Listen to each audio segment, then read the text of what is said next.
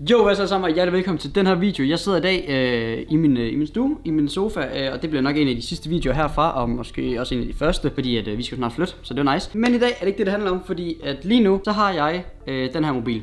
OnePlus 5. Og øh, den har jeg været super glad for, og det er bestemt også en af de bedste mobiler, jeg længe har haft. Der har slet ikke været nogen problemer med den, den er bare kørt, som den skal. Men i dag, så har jeg en pakke her, som øh, jeg muligvis godt ved, hvad der er i. Og jeg håber også på, det er det, som jeg tror, der er i. Fordi hvis det ikke er det, så bliver det en meget hurtig en akavet video det her. OnePlus, som er øh, det mærke, jeg har min mobil fra, de skrev simpelthen til mig, om det var, at det var, jeg gad at have deres nye øh, flagskibsmobil, fordi de har lige lanceret en øh, OnePlus 5T, og jeg tror, at det muligvis er den her. Det her, guys, det er reviewers kittet til OnePlus 5T, og der er lidt ekstra lige i til, øh, til folk som øh, mig, åbenbart, som der får tilsat mobilen, fordi at øh, de skal enten anmelde den, eller fordi OnePlus de er bare nogle flinke mennesker, der smider mobilen.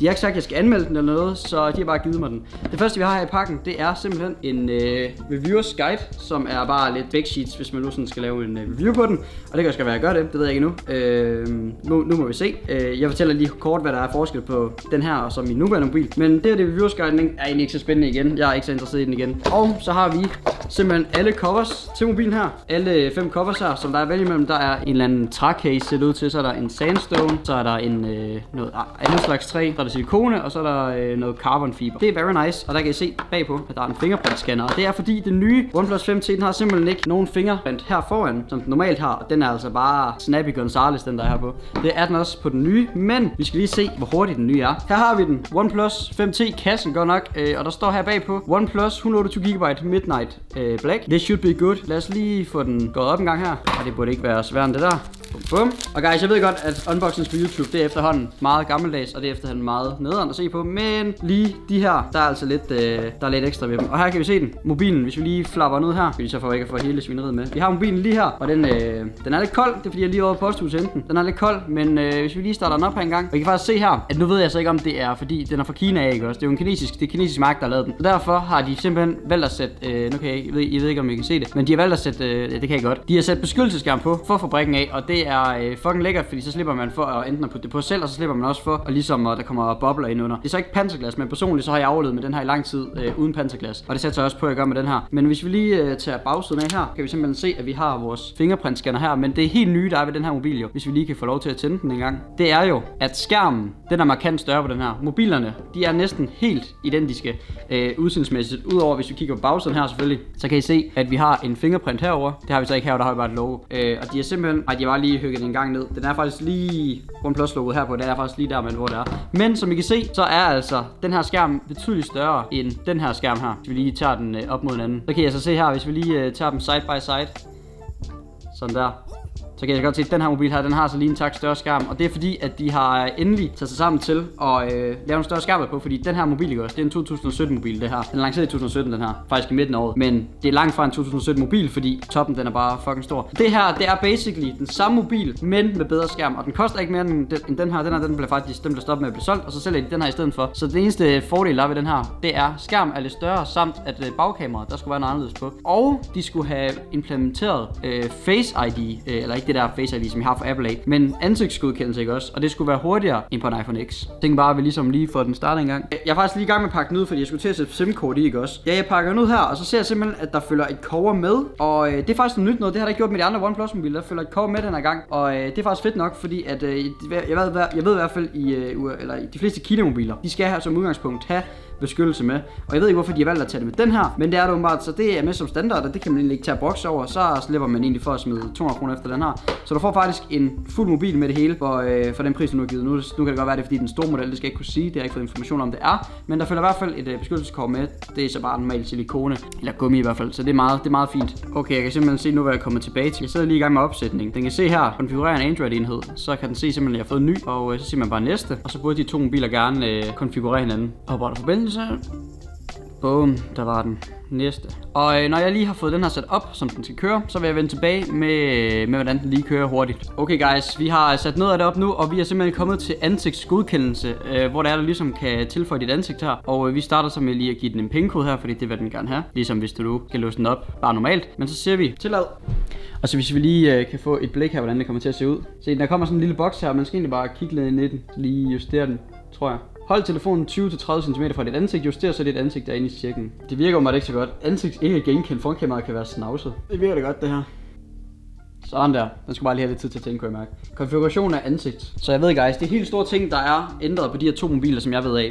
Det er selvfølgelig skærm her. Det er skærmen. Det er selvfølgelig en af tingene. Det andet, det er også, at øh, fingerprint-scanneren, den er gået herfra, og så øh, om på bagsiden her. Og så øh, mener jeg også, at kameraet her, der er det i stedet for, at det kun er øh, før i tiden, der mener jeg, at det var en zoom-lens, som ligesom der er på iPhone, og så er det normalt kameralens. Men de har valgt at så sætte to af de samme linser her, eller de samme øh, ja, linser eller en kamera i her. Øh, den ene har 16 megapixel, og den anden har 20 megapixel, så vidt jeg ved. Øh, og det vil sige, at øh, den er bedre til low light, og derfor de har haft mere fokus på, i stedet for at have det der portrætmode, eller det der hvor du kan zoome, så har de valgt at fokusere mere på, hvordan der er i low light, fordi jeg ved rigtig mange folk, de har problemer med low light situationer. Det har jeg også selv, så det er helt klart en opgradering for mig, fordi det der dobbelt zoom, det, det er der ikke nogen, der bruger alligevel. Det nærmeste øh, skærm, der er for langsomt til at følge med. Okay, hvis jeg så har mobilen her, ikke også, og jeg så kigger på den, så er den bare løst op. Øh, og du kan bare se her, guys. Lige fra jeg klikker her på knappen her, så er den låst op ved hjælp af det der ansigtsgodkendelse. Og det er hurtigere end på iPhone X. Det giver ikke nogen mening, hvordan, hvordan de kunne få det så hurtigt. Du åbner den bare op, sådan der, to gange på skærmen. Det er altså ikke sat til nu, men øh, det kan man. Og det er også en fordel ved, med, med OnePlus mobiler, det er, at man kan trykke to gange på skærmen, og så er det sådan, låser op. Det kan man også på iPhone nu, men det, de er lidt 3-4 år forsinket på det. Så i hvert fald, det her det er den nye OnePlus. Hvis I godt kunne tænke jer en øh, også, så øh, selvfølgelig kan man få den. Den starter ved 3800 kroner, og den her video den er hverken betalt eller sponsoreret. Men øh, OnePlus de har været nogle flinke gutter at sende mig den, og øh, det vil jeg gerne sige tusind tak for. Og øh, tak fordi de gad at sende mig en. Det er, det er lækkert. Det er lækkert, hvis I godt må sende mig lidt OnePlus merch, vil jeg heller ikke øh, have problemer med det. Tusind tak fordi I så den her video, guys. Jeg vil gerne høre jeres meninger omkring den her i kommentarfeltet. Hvad synes I om den? Personligt, så synes jeg, det er lidt at skide på den. Nu vil jeg så ikke sådan klage for meget, for nu har jeg jo så fået den gratis, ikke også? Hvis jeg skal være helt ærlig, ikke også, guys? Det er lidt at skide på sine kunder ved allerede at release ny... Okay, guys, det ved ikke ingen mening, ikke også? Prøv lige. Prøv lige her. Jeg gør sådan her, ikke også? Prøv så her. Det gør automatisk så ikke også, men jeg tænder den sådan her.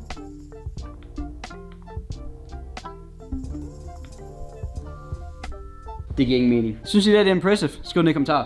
Men for at vende tilbage, jeg vil sige, det er lidt at skide øh, på, sin, øh, på sin fanbase ved at release en helt ny mobil allerede efter, øh, efter 4-5 måneder. Øh, godt nok så er det en, ja, en opgraderet version, de gjorde det også med 3'eren. Det er også fint nok, men 3'eren den havde kun lige en tak bedre processor, og så var det egentlig den samme mobil, og så lidt bedre frontkamera. Den her, den har så en bedre skærm. Processoren er godt nok den samme. Kameraet er også lidt anderledes, men jeg vil sige, at release en mobil 4 måneder efter, allerede 5 måneder efter, det er lidt at skide på den. Og personligt, så øh, man kan så sidde og fortryde, om man har købt den her leje. Nu har den så været igennem mig i 5 måneder, og jeg har ikke fortrudt den en eneste gang, fordi legit ikke også, guys. Nu ser jeg det her for at videoen af. Men det jeg prøvede på at sige, det var, at øh, hvis I gerne vil have en Android-telefon, der er så tæt på en iPhone som muligt, i forhold til Snapchat og alt sådan noget der. Nu er jeg jo så selv øh, social media, YouTube, Twitch, alt, der er nærmest sociale medier, bruger jeg. Og derfor skal man ligesom også have mobiler ligesom optimeret til det hele. Og der er det for det meste, de fleste folk, de vælger en iPhone. Og det kan jeg helt klart godt forstå dem i, fordi de kører pis godt. Men iPhone, de er bare alt for dyre til mig. Og jeg er altså også et normalt menneske, og jeg har også en, øh, nogle penge, som der ligesom skal bruges fornuftigt. Og det synes jeg ikke, de bliver gjort på en, øh, på en iPhone. Og øh, samt de også skal kunne holde i lang tid. Og der har det lidt med dem her, den kan du opgradere. Hvis du vælger at smide så mange penge i en iPhone, der kan du købe sådan en her ny en hvert år næsten. Så det finder jeg i hvert fald bedre, samt at du ligesom kan få de nyeste features. En iPhone X koster 10.000. Den her, både Face Unlock og hele svineriet,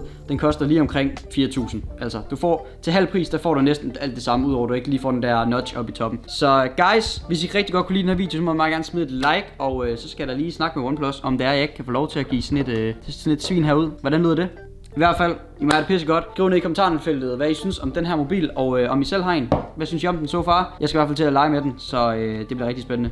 Okay guys, jeg har lige to sidste ting, inden den her video den slutter. Jeg har nemlig et problem, som jeg havde på min, øh, på min soundbox, og det var, som vi kan se der, så har jeg en soundbox. Og det var, at en eller anden grund, så når den spillede gennem Bluetooth på min OnePlus, så fungerede det bare slet ikke. Øh, og jeg ved ikke hvorfor, jeg ved ikke, hvad der har gjort, hvad det er. Så derfor vil jeg lige teste, om det er fikset på den her, fordi det tror jeg nemlig ikke, det er, fordi det er jo teorien det samme der inde i. Men det kan godt være, de har fikset det, det kan godt være, det bare var en fejl med OnePlus 5. Det ved jeg ikke. Øh, det skete ved min storebrors OnePlus 5, også min egen. Så jeg prøver lige at tjekke, om det er den, øh, yes, der er en soundbox her. Øh, så hopper jeg lige på Spotify, og så ser, om det er øh, problemet, det stadig er der. Og allerede en af de problemer, som jeg har stødt ind indtil videre, det er en eller anden grund Snapchat, som I kan se her det er zoomet sygt langt ind allerede. Normalt ikke også. Hvis der er sådan har, tager billedet i sådan en længde her, så kan I se her. at det er bare way too much øh, zoomet ind. Og det bliver forhåbentlig fikset om noget tid, det håber jeg. Ellers så bliver jeg godt nok lidt sur, fordi det ser lidt træls ud, og det er lidt mærkeligt, og der er ikke nogen grund til det. Fordi skærmen er i teorien den samme opløsning øh, og skærmstørrelse som en øh, Samsung. Men ja, der skal nok bare lige en opdatering til. Men, men, men det var ikke lige helt det, vi skulle. Vi skulle ind i øh, Spotify en gang, lige for at se. Så har vi øh, Spotify her. Lad os lige se, om problemet er der. Det håber jeg. Det ikke er. Vi krydser fingre, fordi at, øh, jeg købte faktisk en iPhone på grund af, at der var det problem.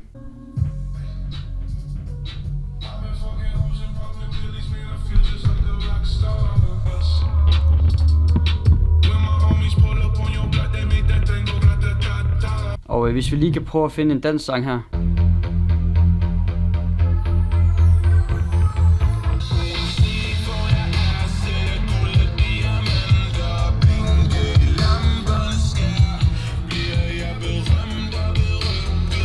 Så øh, det er lige en ting at tage over, altså det er, at den virker altså ikke med soundbox endnu. Og jeg har skrevet ind på OnePlus forum, hvad fuck der kan være galt, og jeg håber, at OnePlus I ser den her video her, og så gider at give mig en forklaring på, hvad der er problemet. Fordi den der soundbox der, den er, øh, jeg har i hvert fald spurgt dem, og de siger, at den er ligesom verified af alle de der ting, som de der Bluetooth-standarder, de skulle, nu skulle have. Men jeg tror, det godt kan være fordi, at det er fordi, at der er en gammel Bluetooth-sender i den der, fordi det er sådan noget 2,1 eller sådan noget, der er 5,0 den her. Det kan godt være, at de ikke er helt øh, med hinanden. Der er lavet et problem med Bluetooth derpå, og jeg vil godt have det løst, fordi det er lidt træls at skulle løbe rundt med to mobiler, for at kunne høre musik derpå. Så, men vi har lige en sidste ting her i videoen, som øh, der lige kommer, når min mor engang kommer hjem. Hvad er mit hår? Dit hår, Ja, for være på YouTube. ja. Kan du ikke se sådan her ud? Kan du ikke det? Kan det? Nej, du tager ikke mig nu, vel? Måske. Så, øh, men nej, men det sidste jeg havde her i videoen, det var fordi, at øh, mor, du har jo hjulpet mig derude i mit hus, hvor jeg skulle male og sådan noget. Mm. Meget. Så, øh, og jeg har jo fået den her. Det er den øh, nye OnePlus. I dag? Så øh, du er på min gamle. Jamen, den er jo ikke ret gammel. Den er 3-4 måneder. Ja, nej, hold op. Jamen, hvad kan jeg finde af at tømme den? Har du tømt? Tøm den. Jamen, den er så god som ny. Du skal bare sætte den op. Okay. Jamen, tusind tak. Jeg er nødt til at have et andet cover, Hvorfor? fordi jeg, er nødt, fordi jeg smider den på gulvet med, i gennemsnit fem gange om dagen. Gør du det? Ja, og det gør jeg virkelig. Jeg tager den ud af min lomme på arbejde. Du skal nok også have panserglas på den. Så jeg skal have panserglas på, og jeg er også nødt til at have en Otterbox. Otterbox. Spons. Otterbox. Otterbox. Så, men nej, det jo... de vil sponsere det, Otterbox. Otterbox. Otterbox. Det er jo den gamle. Det er den gamle. Kan den bruge det samme? Nej, Øh, ikke helt. nej. Du skal bare en tank til den. Nej, en Otterbox. En tank. Jeg kan kun bruge Otterbox. Men det er det samme. Der står bare Otterbox på den der, men det er bare en tank. Hvis Nej, det er bare nej, sådan. der skal stå Otterbox på. Men det der, det er en tank. Jeg skal stå Otterbox på den.